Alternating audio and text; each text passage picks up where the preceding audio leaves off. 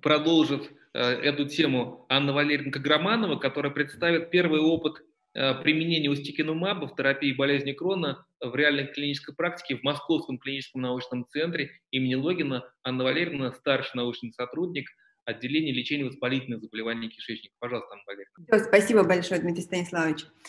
А, в продолжении такого прекрасного доклада предыдущего давайте поговорим о том, как мы применяем в практике новые препараты, которые приходят к нам на рынок и помогают нашим больным контролировать воспаление и улучшать качество жизни. Болезнь Крона – заболевание тяжелое, прогрессирующее, заболевание, которое требует регулярного контроля воспалительной активности и междисциплинарного подхода с привлечением врачей различных специальностей. А, этой болезнью занимаются не только гастроэнтерологи, э, хирурги, колопроктологи, но также и ревматологи, фтизиатры, дерматологи, офтальмологи и другие специалисты.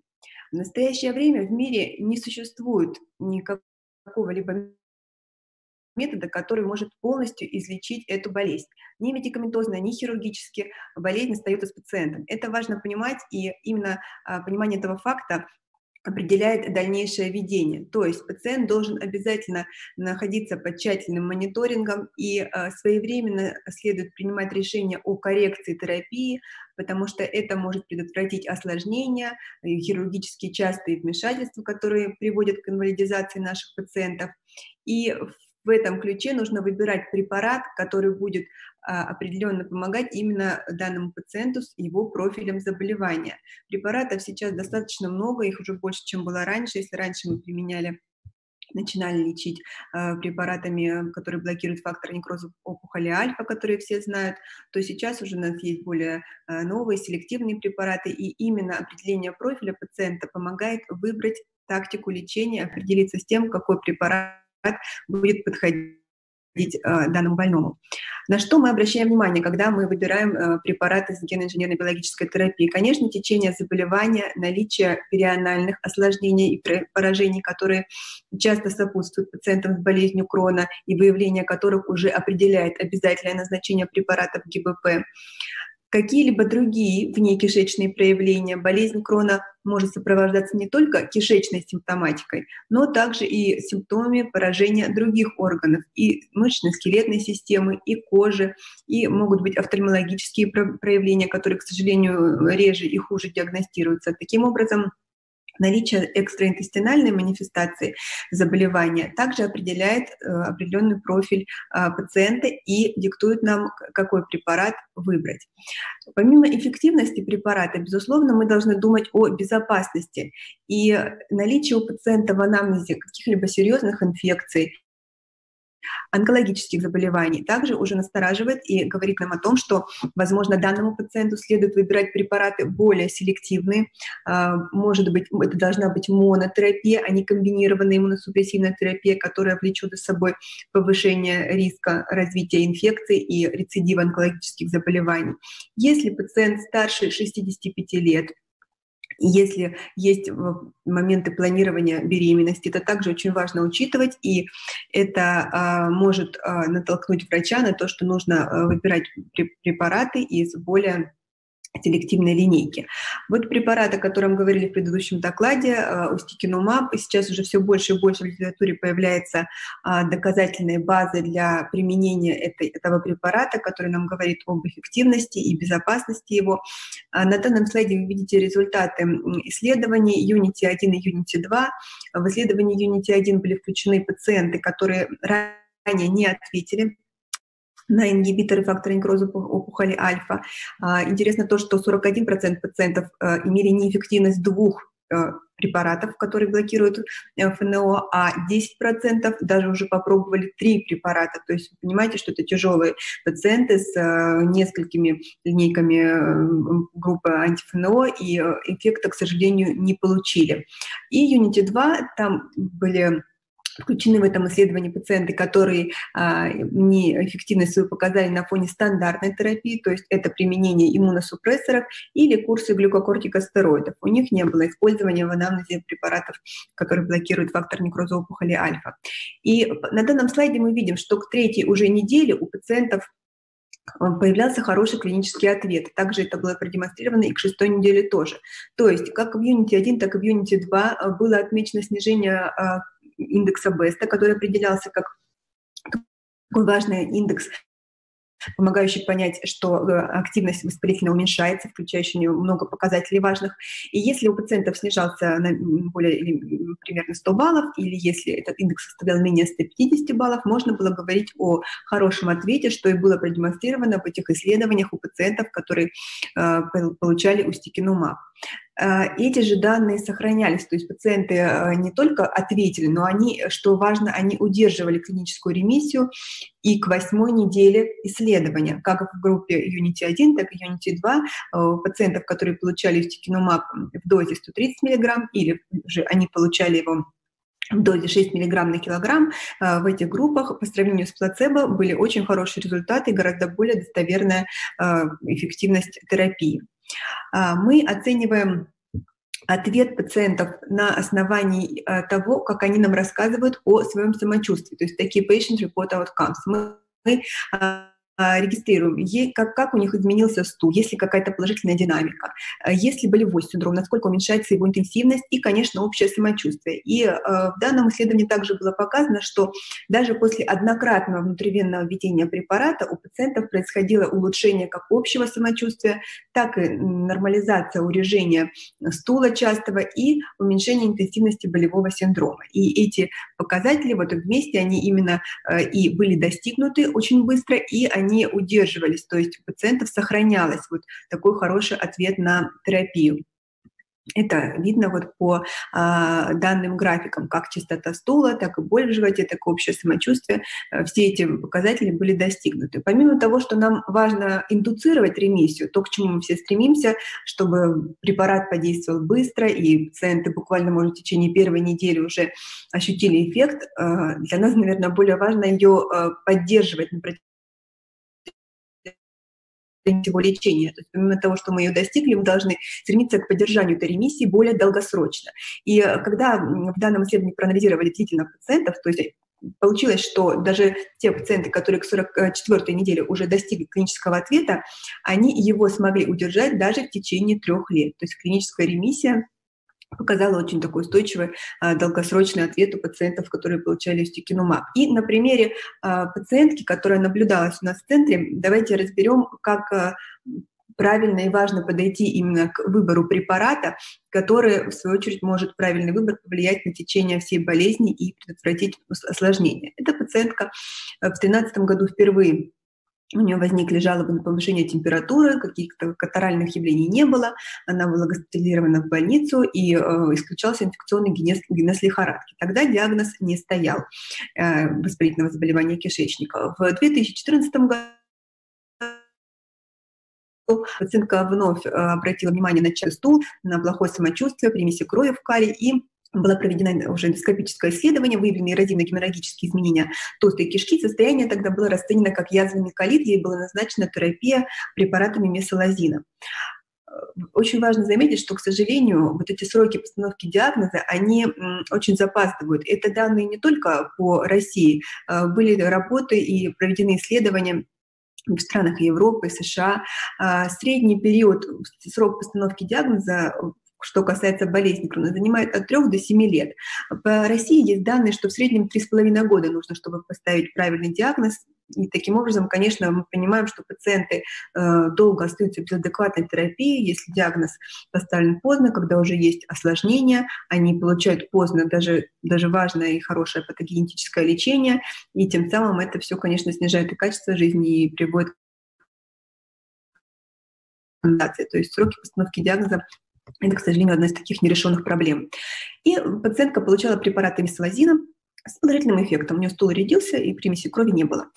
Самочувствие у нее было удовлетворительное. При амбулаторном обследовании, однако, было отмечено и снижение гемоглобина, все-таки анемии, повышение лейкоцита, снижение белка. То есть а, воспалительные такие были очень изменения в анализах и нарушения уже даже метаболические. И пациентке была проведена видеокапсульная эндоскопия, где были выявлены множественные язвенные изменения э, в тощей кишке, подвздошной, толстой кишке. И таким образом диагноз был сформулирован как болезнь Крона поражением тощей, подвздошной кишки, э, толстой кишки, высокой активности. Наблюдалась также гипопротеинемия, гипоальбуминемия, железодефицитная анемия. Пациентке была назначена терапия преднизолоном, э, иммуносупрессоры и препаратами салазина. После того, как она завершила курс гормональной терапии, который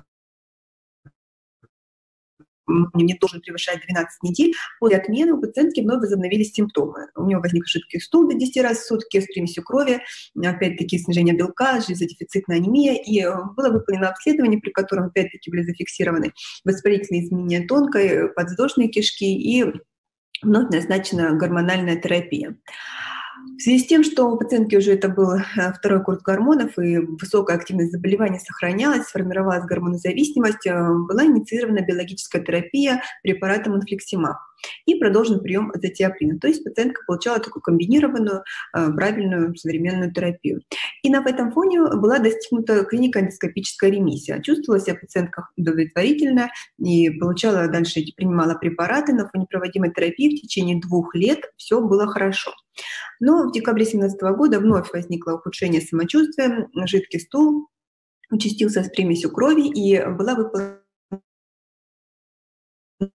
коррекция терапии, то есть оптимизирована биологическая терапия. Инфлексимаб э, вводился уже не каждые 8 недель, а каждые 4 недели. Но несмотря на такую оптимизацию, которую мы тоже часто прибегаем наших пациентов, а, и часть из них отвечает на такую оптимизированную схему, у данной пациентки все равно жалобы сохранялись. И уже с вторичной неэффективностью э, инфлексимаба пациентка была переведена на другой препарат, тоже из группы блокаторов фактора некроза опухоли альфа, э, церторизумаб пигол. И на фоне э, назначения нового препарата у нее улучшилось самочувствие, боли в животе уменьшились, уменьшилось количество крови в стуле, чувствовала на себя неплохо. При очередном контрольном обследовании э, в нашей клинике, э, при эндоскопическом обследовании, было э, зафиксировано очередное обострение. К сожалению, опять при эндоскопии определялись множественные эрозивные язвенные сливные дефекты, полигональные формы, которые занимали более 1 трети окружности кишечника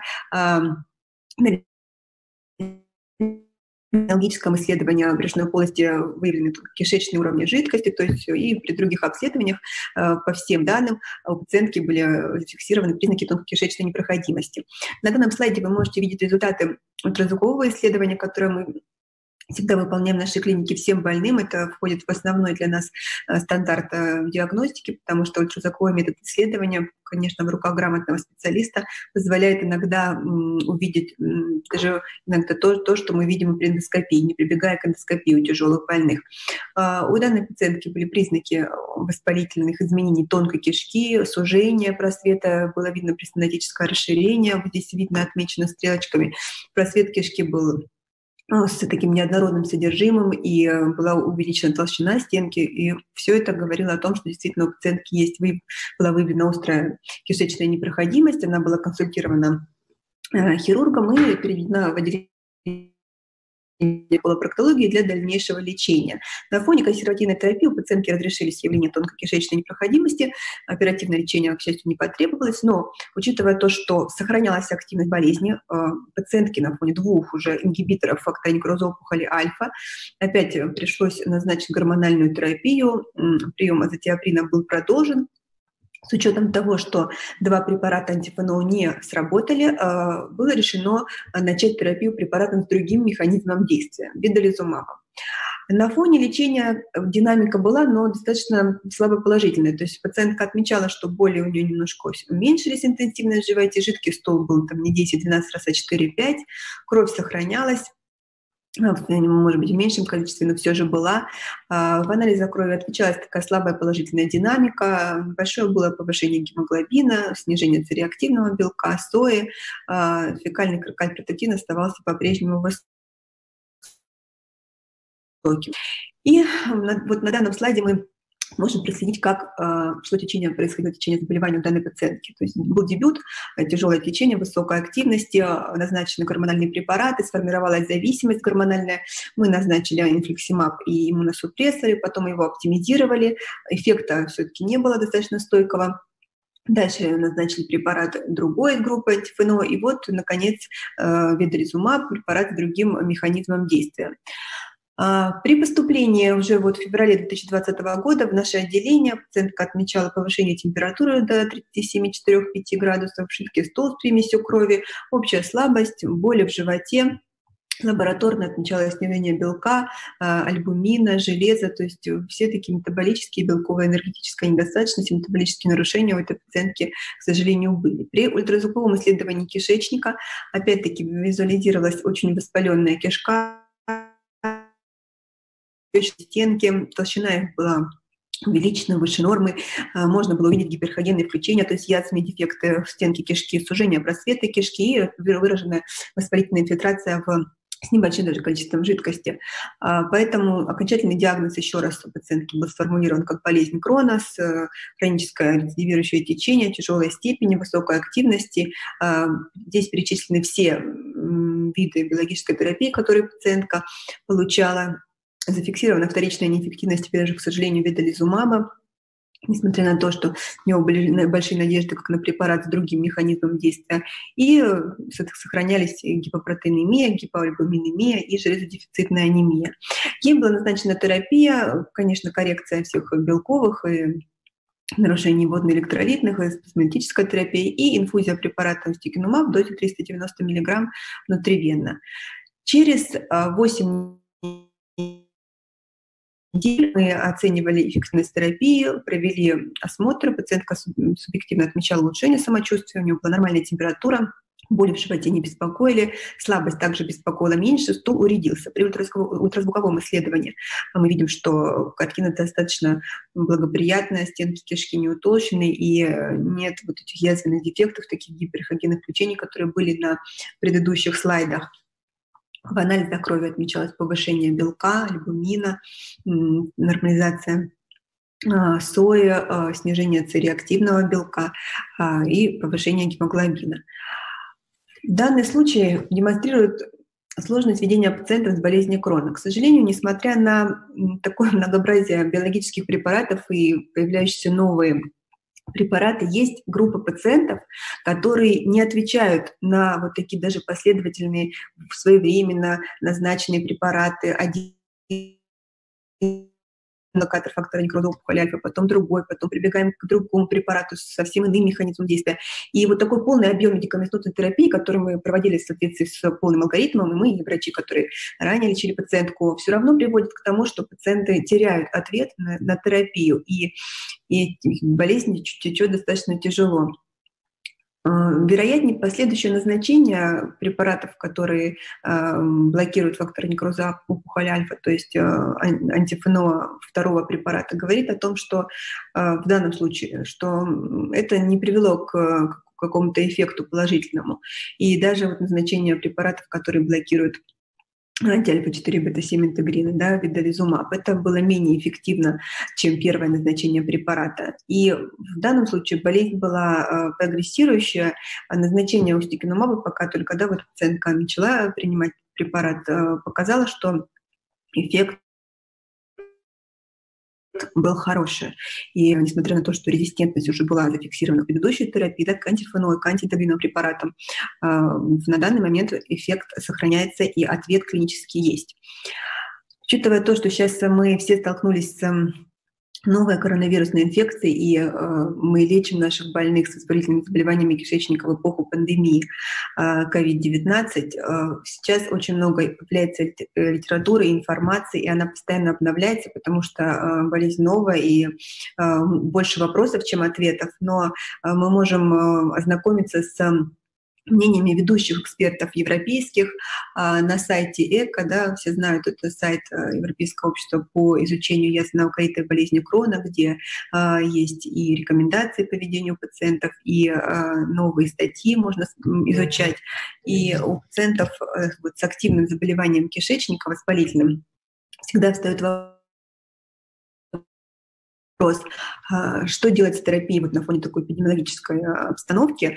И а, есть интервью с ведущими экспертами, сейчас уже, уже 5 интервью, последнее вышло 14 апреля, и вот в разных интервью они приводят данные о возможности применения препаратов, о том, как профилактировать заболевания. Что касается приема иммуносупрессоров, в принципе, все, что мы должны сейчас знать, то, что обострение воспалительного заболевания кишечника нам следует купировать быстро, конечно, чтобы избежать госпитализации пациентов и осложнений, которые могут требовать хирургические вмешательства. Мы можем использовать все препараты, которые применяются при обострении языка, то есть тут каких-то ограничений нет. Если у пациента обострение, э, это не значит, что мы не должны назначать ему гормоны, потому что боимся вот такой эпидемии коронавируса. Что касается теопуринов, э, да, это препараты, которые, конечно, показывают более высокий риск э, осложнений таких серьезных вирусных. И вот недавно вышло буквально несколько дней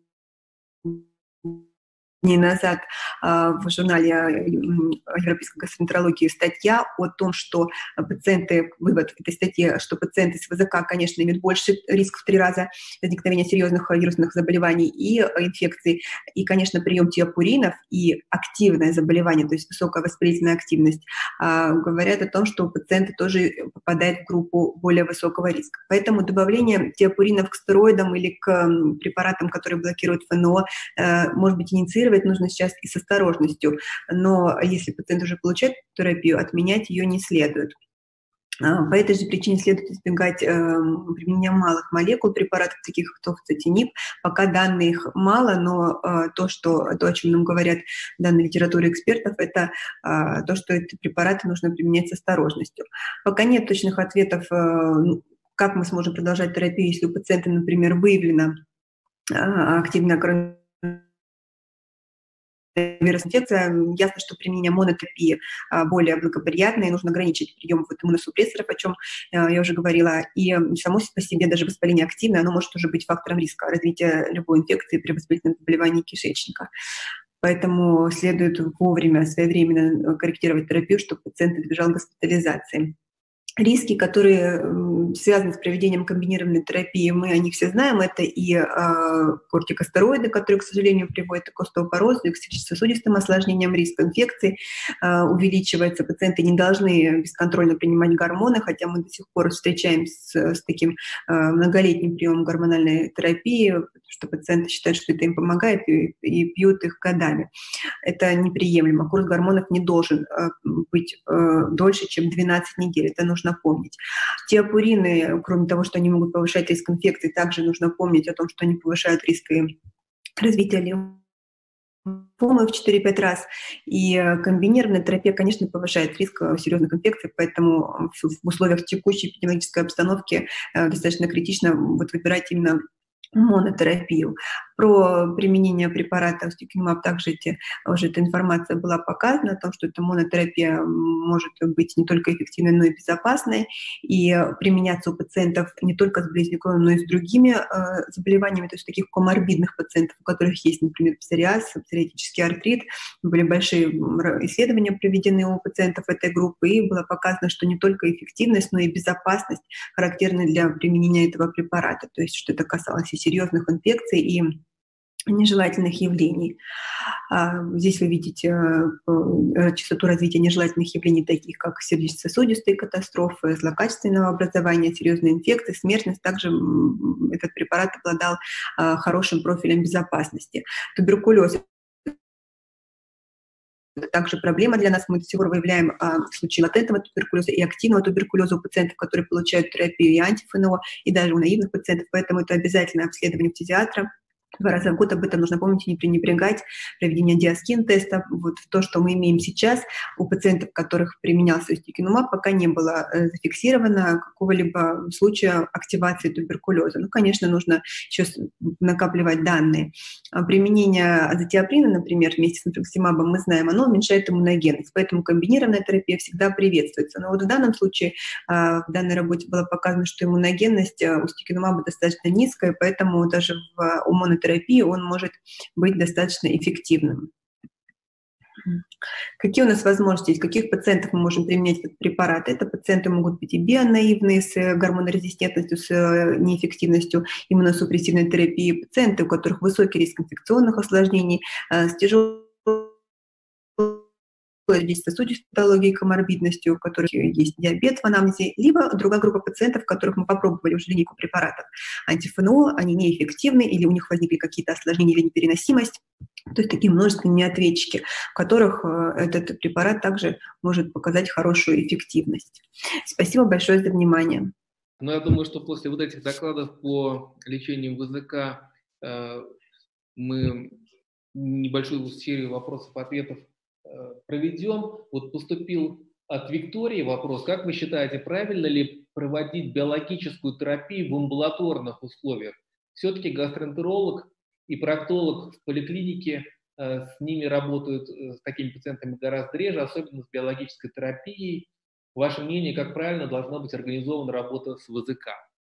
А индукцию биологической терапии мы проводим всегда в стационаре. И нашим пациентам, которым мы инициируем назначение биологической терапии, конечно, первые инъекции и внутривенные, и подкожные лучше проводить в стационаре. Что касается поддерживающей терапии, то если говорить о подкожных э, формах препаратов, то в данном случае пациенты вполне могут проводить э, все эти инъекции и в поликлинике по месту жительства, и в данном случае, если соблюдать весь правильный алгоритм наблюдения и мониторинга, обязательно посещать психиатра и так далее, то проблем, я думаю, не будет. Но, конечно, вопрос организации, он сложный, безусловно, и это всегда этот вопрос поднимается на наших э, конференциях, потому что у специалистов, которые работают в поликлинике, очень много вопросов, и Иногда просто страшно э, вводить препараты, это, это тоже существует, поэтому такой вопрос не, не совсем решенный.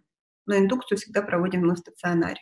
Рекомендуем, по крайней мере, пациентам, они всегда это... Безусловно, индукция и контроль. Да. Э, во-первых, э, решение вопроса в начале этой терапии, индукция, оценка эффективности, безопасности этого индукционного курса. Ну а что касается дальнейшей терапии, ну, конечно, лучше, чтобы это специалисты, которые компетентны в ведении больных языка были.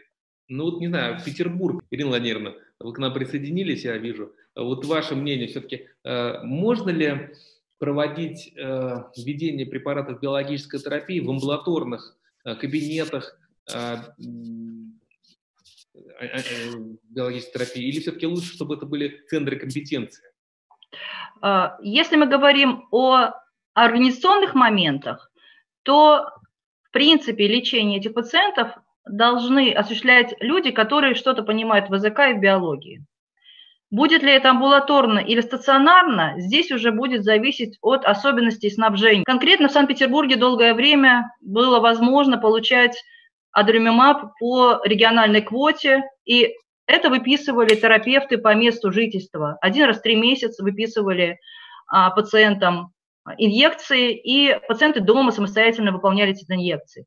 С одной стороны, это где-то облегчило а, задачу центров ВЗК, снизило нагрузку, но с другой стороны, пациенты, которые получали амбулаторно по месту жительства эти шприцы, они уходили из-под контроля. И, соответственно, не, мониторировали ни туберкулез, ни другие возможные осложнения, не приходили на эндоскопическое исследование рутинно, поскольку они чувствовали себя замечательно хорошо. И э, эти пациенты, к сожалению, адекватно не мониторировались. В большинстве случаев, конечно, биологическая терапия безопасна, и она может проводиться так, как указано в инструкции, подкожно, самостоятельно пациентам. Но с учетом особенностей конкретно этих иммуновоспалительных заболеваний, где мы должны понимать а, риски от прогрессирования заболевания и риски от проводимой, в том числе иммуносупрессорной терапии, необходимо, чтобы они приходили к специалистам ВЗК. Причем это может быть специалисты ВЗК, как это реализовано в городском центре ВЗК в Санкт-Петербурге. Это поликлиника при больнице, то есть это амбулаторные врачи, но они очень хорошо квалифицированы и имеют большой опыт. Или это стационарные, ну, в частности, наше отделение, оно специализируется на военнослужащих, на пенсионерах вооруженных сил, на льготной категории. Мы держим на балансе всю биологическую терапию, нашего учреждения. Соответственно, мы вынуждены все через стационар, через дневной стационар. То есть первое, что это должны делать специалисты. Второе, а, а уже организационно, амбулаторно или стационарно, тут будет, конечно, зависеть от региона. Ну, я с вами соглашусь, что э, вопрос не в том, действительно, стационар это или амбулаторный прием, а главное, чтобы это были специалисты. Если пока э, в городе, я, я нас из многих городов слушают, есть ограниченное количество людей, которые имеют соответствующие компетенции, наверное, они должны наблюдать, а, тем более, что все-таки эти препараты несут угрозу и каких-то нежелательных явлений, и э, э, инфекций, в в том числе туберкулезом. Но, с другой стороны, возможен уход от эффекта, эффекта этой терапии, который тоже нужно своевременно выявить и принять решение, как э, дальше вести эскалацию дозы, переключение на другой препарат биологической терапии. То есть, на самом деле, это действительно должны быть э, очень опытные люди. Поэтому, наверное, вот я полагаю, что вопрос звучал, почему мы обсуждаем на школе эту терапию? Мы обсуждаем, потому что люди, мы хотим повысить компетенцию людей, потому что все-таки э, больные наблюдаются в амбулаторном звене, но приходят в центр компетенции, где им это вводят, поэтому тут такой двойной контроль должен, с моей точки зрения, наверное, вот так вот это должно строить. Да. Спасибо большое.